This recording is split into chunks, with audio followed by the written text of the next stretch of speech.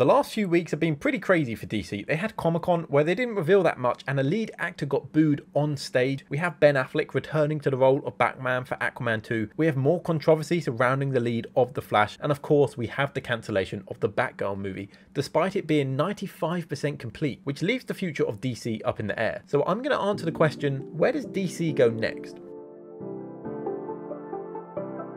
Hello and welcome to Cinemaze and in this video I'm going to pitch the future of the DC EU. DC is undergoing a lot of changes right now and this is mainly because the wider company of Warner Bros Discovery is under new ownership and the new head has come in and changed things up, cancelling many projects including Batgirl and also putting into question the future of some of the other DC planned projects. It also comes with a new aim for DC who want to focus on a 10 year plan with a structure similar to Marvel, with the focus back on their key characters and on the big screen focusing on quality. And while the cancellation of Batgirl is shocking, I do like the idea of focusing on the main heroes and on quality. Because right now, the DCEU looks like a mess and it doesn't have the same public perception that Marvel has. The DCEU has 10 movies varying from critically and financially successful to awfully received films and box office disappointments. They have two versions of their main team-up film. They have the future of some of their key stars in question and they have widely successful DC films set in different universes. I'm sure the new ownership of DC would love nothing more than to reset the whole thing and start again. Because quite frankly, the whole thing looks like a mess. But there's too much in here that people like, and that's part of the problem. DC is in a weird position because for every bad film they have, they have a good one. For every character that people hate,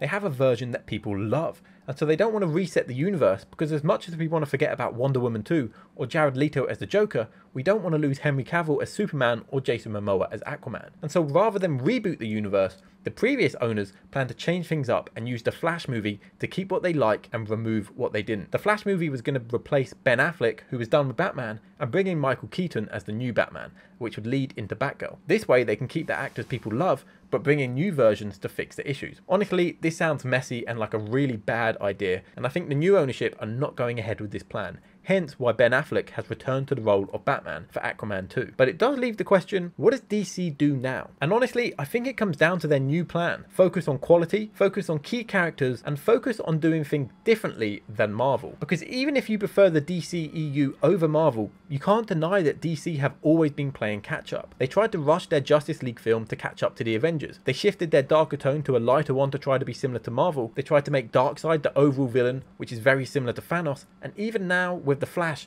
they're beginning to focus on the multiverse and old versions of characters, which Marvel has already done. Apparently after The Flash, the plan was to begin building to a Crisis on Infinite Earths event, which is essentially DC's equivalent of Secret Wars, which Marvel are already building towards. If these rumours are true, they need to stop that plan and do it differently. They need to go smaller and focus on their key characters and get audiences back on the side of DC and make people care about the Justice League in the same way that audiences care about the Avengers. And so here's my pitch on how they should do this and rebuild to the next Justice League film. Firstly, we have the Batman and the Joker universes. Separate universes with distinct tones which are their own thing. Both were critically and financially successful and have sequels planned. These universes should go ahead separately. Keep doing their own thing, people enjoy it and we shouldn't change that. It does put the role of Batman in the main DCEU in a bit of a weird position, but we'll talk more about that in a bit. Let's look at some of the previously announced DCEU films which really seem to focus on random characters. Plastic Man, Lobo, the Amazons. Why were these going to be the focus of DC it's so random. So all of these, we're scrapping them. They're going in the bin. Because remember, DC want to focus on quality and on their main characters. Now let's look at the DC EU projects that have come out and are coming out soon. So there's quite a mix of characters and tones in here. There's some solo superhero films, some anti-hero films, some team-up events, and some sequels. Generally, they focus on major DC characters, which is good. If we look at Marvel, what they're doing now, they're beginning to give us projects looking at much less known characters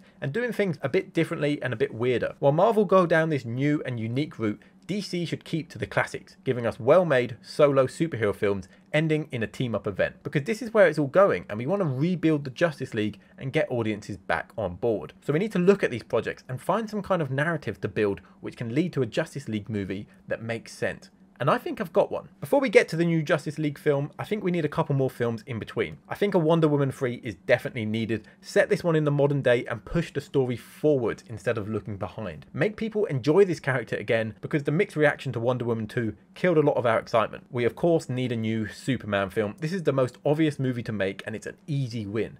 Even those who don't enjoy the DCEU Superman films can agree Henry Cavill is great as Superman and everyone wants him back. Give him a solo film to get fans back on board and this needs to come before the next Justice League movie. If we think about Batman, he's in a weird position where Ben Affleck is unlikely to get his own film because The Batman is doing so well and that's its own thing. And so I think audiences can accept multiple Batmen at the same time but I don't think multiple Batman films would work. So Affleck is going to be appearing across other characters' movies rather than in his own solo film. So he can be in The Flash, Aquaman 2, he can be in a Superman sequel and a Justice League sequel, but he won't have his own film. He'll be a Nick Fury type character keeping the team together. Like the Hulk in Marvel, who they can't give his own movie, but they give him a story across other characters. They will give Ben Affleck's Batman an arc across the other characters' movie, although hopefully they do a better job than they've done with the Hulk. And before we get to the Justice League, I think it's important we get a Shazam versus Black Adam movie. This could be Shazam 3, it could be Black Adam 2, it could be its own thing. That doesn't matter, but what matters is that these guys face off. People seem to want Black Adam versus Superman, but Shazam makes way more sense first. These two characters go together like Venom and Spider-Man.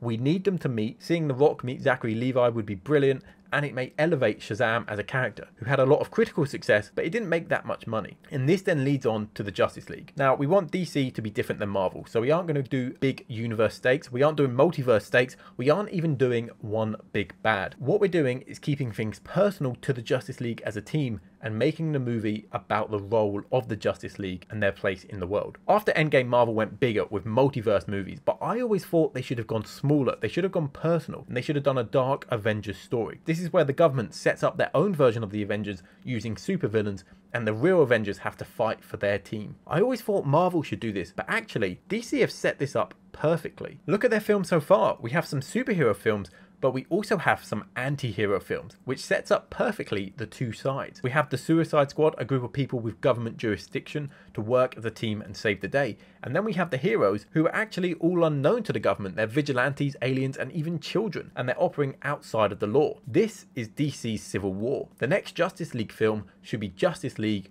versus the Suicide Squad. All the pieces are here we can have the government sanction the Suicide Squad as the new official hero team, while the Justice League who operate outside of the law know that they're actually the good guys and the Suicide Squad are bad, and they have to fight to prove themselves as the true team. We can bring in characters like Shazam and put them on the Justice League, and bring in Black Adam and put him in the Suicide Squad, and that way we have our two sides. We can also bring in some other characters who get introduced along the way, and some other fan favourite characters who have been set up, like Deathstroke. We can have great action, as instead of fighting a faceless CGI army, which has been done in every Avengers and Justice League film, film, we can have superpowered characters fighting each other, which works so well in Civil War as it makes more unique action scenes. This will make audiences care about the Justice League again as their role is put into question by the government, while making the past movies all feel like they were building up to something, setting up a lack of responsibility for superpowers, setting up the heroes while also setting up the villains. Right now, I think why does Black Adam matter? Because we won't see him on the Justice League because ultimately he's a bad guy. Now Black Adam would matter because it's setting up a guy to lead the Suicide Squad against Superman and the Justice League. This would tie all the films together, make us care about the heroes, and does something differently to Marvel. The only question is, who should lead these films? If DC want a Marvel style approach, who's going to lead them like Kevin Feige leads Marvel? And assuming that DC are done with Zack Snyder, there's only one answer, in my opinion. Someone with experience working on superhero movies, experience with team up films, experience with Marvel, and experience with DC. It's got to be James Gunn. We know he understands the characters, he's got a great comic book knowledge, we know he can do team up films, and he can bring his experience on Marvel over to DC. We also know he can do tone well, giving us light-hearted with Guardians of the Galaxy and R-rated with the Suicide Squad. Right now, DC has wildly different tones from fun, youthful films like Shazam to R-rated Suicide Squad films to dark and gritty like Batman versus Superman. I think James Gunn could blend all this together and give us the Justice League versus the Suicide Squad, which we deserve. And that's where DC should go next. So that's my pitch for the future of DC. What did you think of this? Does it sound good or would you do things differently? Let me know in the comments down below. I really want to hear your thoughts. If you enjoyed this, please like the video. It helps out my channel so much. And if you want to see more, please subscribe because there's new videos like this every Friday. But until then, thanks for watching Cinemaze.